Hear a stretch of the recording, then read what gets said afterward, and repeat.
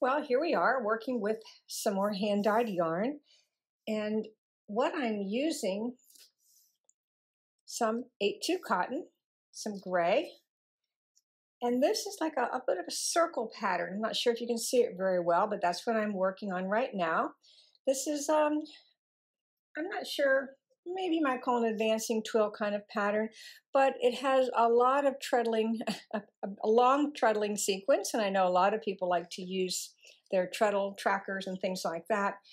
I do something crazy like this. I put um, all the treadles numbered on a piece of paper and I have two sections. So if I need to stop, I can stop. But what I find is there's often a pattern in there, and I ha- and i am able to start to kind of not necessarily memorize the pattern, but my it gets into a little bit of a rhythm. And I do have what we call a higher castle on this loom. It's kind of hard to see right now, but I'm going to stick my little post-it note up at the top, and I'm going to start to get this threaded up. I'm going to count and let you know kind of what treadle I'm doing just to uh, for part of it. And I'll start with treadle. And this is one, two, three, and four. Yes, I know I have a squeaky loom. Then I do one, two, three, four, five, and six. And then next I start with three, and I, going to go all the way up until I get to treadle eight. So the pattern is actually eight treadles, and I am using an eight shaft loom. Then I come back and it's halfway. This is actually treadling the way it has been threaded.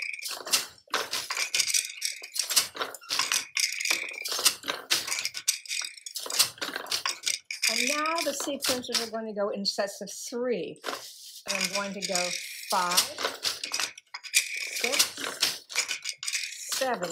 And then it goes down one, four, five, and six. And then it's three, four, and five.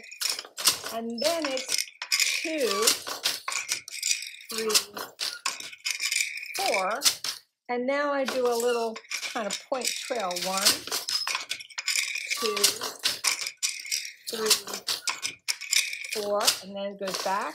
Three, two, and one. And isn't that nice? I end up on with uh, almost ran out just at the end. Not sure how everyone else adds their next thread, the next bobbin. This is how I'm doing it. And I'm going to put it in the same shed here.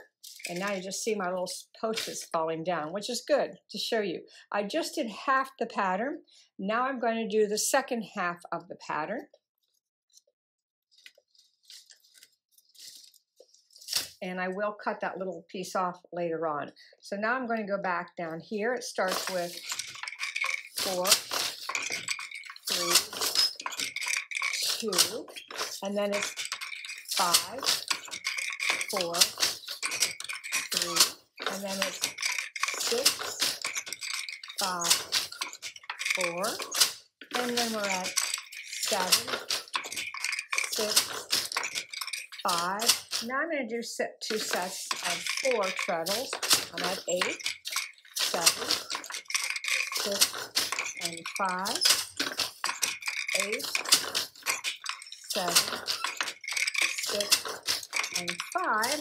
I'm almost finished with treadling sequence. I have to go all the way down until I get to treadle three. And then I go back to six.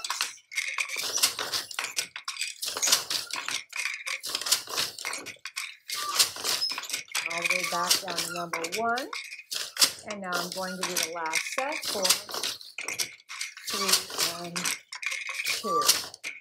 And that's the sequence. So right now, this is about a four inch pattern that we're doing. They look alike, but they really are reversed. So there's little triangles in there. You might be able to see them there. I'm not sure if you can. But anyway, so I'm finished with that sequence and I'm going to keep on going. I'll advance the loom. I went a little closer than I normally do and I will keep on weaving.